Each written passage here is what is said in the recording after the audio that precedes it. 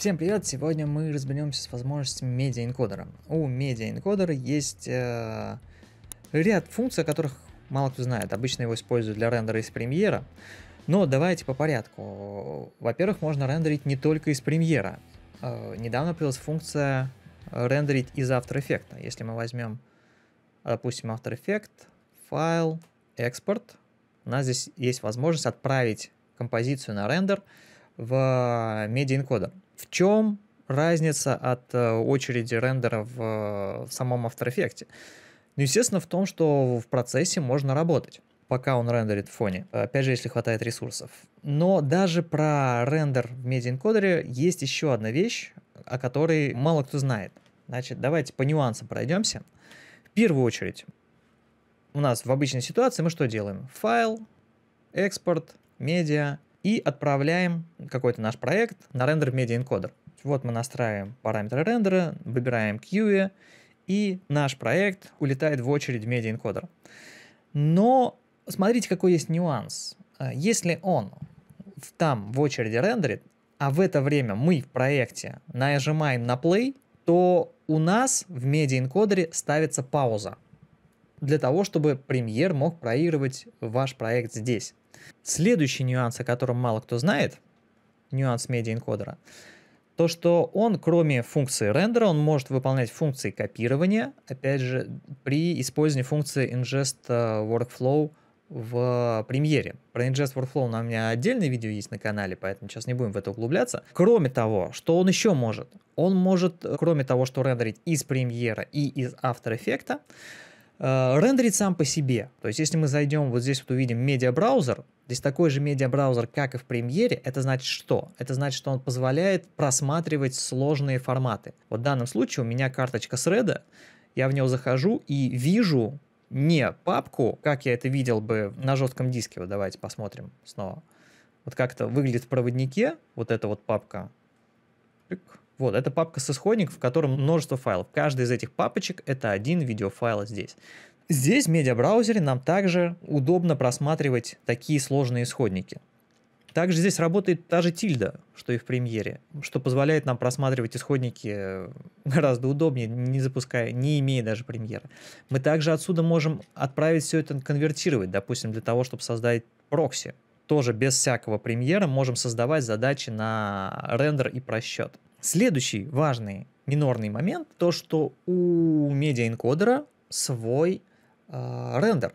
То есть вот здесь вот внизу устанавливается рендеринг. И причем, если вы установили, допустим, в премьере рендер, допустим, у вас может быть здесь установлено Engine Software Only, а здесь у вас может быть установлено совсем другое решение. То есть они никак не синхронизированы. Вы можете здесь устанавливать одно, здесь устанавливать другое. Просто имейте этот момент в виду. Следующий момент, я вот одно видео положу сюда, отправлю на рендер. Когда вы что-то поместили в очередь, есть еще одна фишка, которую мало кто знает. Ну, во-первых, можно дублировать этот клип. Во-вторых, здесь есть такая кнопочка Add Output. И она добавляет второй output к вашему видео, что позволяет вас вам одновременно рендерить видео в два формата. Например, вот здесь вот будет одновременно рендериться и в QuickTime ProRes, и в H264. Давайте я просто разные, все это на рабочий стол буду отправлять, чтобы потом спокойно удалить. И какой в этом плюс? Плюс в том, что это будет чуточку быстрее, допустим, если вы отправляете из проекта на рендер, и вам нужно отрендерить его в двух форматах. Когда вы нажимаете здесь QE, создается копия проекта в кэшах премьера, даже не копия проекта, а копия проекта с одной секвенцией.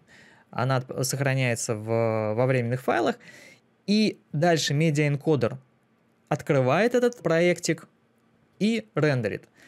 Если вы ставите две задачи по очереди, допустим, вам нужно сначала там, в MP4 эм это прочитать, а потом в прорез, то тогда он два раза открывает, этот, загружает, открывает этот файл, подтягивает исходники и рендерит. Если вы добавляете здесь второй output, то он один раз загружает этот проект и рендерит его сразу в два формата. То есть сейчас я нажму рендер, и он, видите, сразу в два формата их отфигачил. Тоже очень удобная функция, если знать, как ей пользоваться. Следующая вещь, про которую тоже хочешь сказать, мало кто заглядывает вот сюда вот, здесь находятся папки отслеживания. Что такое папка отслеживания? Допустим, я создам на рабочем столе папку для теста, просто назову его тест. Она пустая. Я добавляю эту папку в папки отслеживания. Что это значит? У папки отслеживания есть атрибут. Допустим, сейчас это h264 с параметрами исходного файла трали-вали. Можно, допустим, поставить не h264, а, допустим, QuickTime и 422 прорез. Что это означает?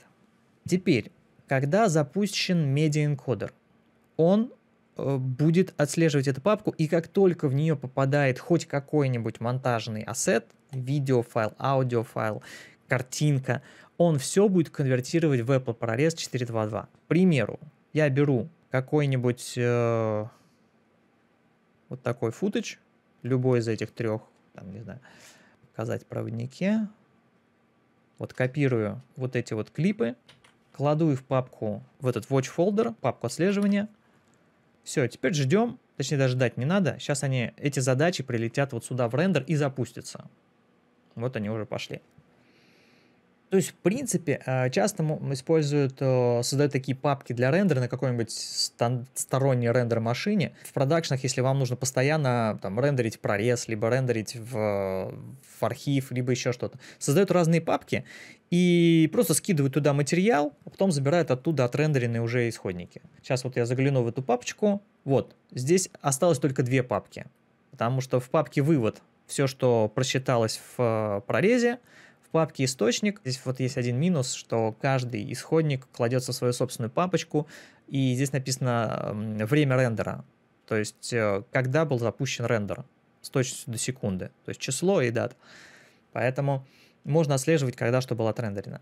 Ну, есть еще одна функция, не знаю, насколько она полезная. Медиаэнкодер может сшивать множество файлов вместе. Я никогда этим не пользовался, но, допустим, если вам нужно вместо вот этих вот всех файлов иметь один, вы можете перенести это вот сюда вот, и тогда он отрендерит и сошьет их. Соответственно, если это в... Давайте как раз проведем тест. Всегда было интересно. Сможет ли он сшивать файлы прорез в, на лету, без рендера? Поэтому я беру просто вот эти вот файлы, говорю, сшей мне их. Сшей эти клипы. Сшитый, та-та-та-там. Смотрим. Ну, смотрите, судя по тому, что вот один файл, который отличает... А, два файла отличаются по формату, они просто разного разрешения, соответственно, если бы они были одинакового разрешения, то он бы даже их и не пересчитывал, а просто бы сшил в один файл. Это прикольно. То есть, если в окошке проигрывания не показывается картинка, это значит, что этот э, клип не перекодируется. Есть он остается так, как есть. Это прикольная фича. На этом все возможности медиаэнкодера, больше в нем ничего по большому счету нет. Так что подписывайтесь на канал, пишите в комментариях, что вам еще хочется посмотреть, на какую тему сделать видео. И я иногда бываю в кризисе идей, и э, просто накидывайте мне идеи, я буду их реализовывать. Все, спасибо за внимание, давайте пока, удачи, гладкого вам рендера.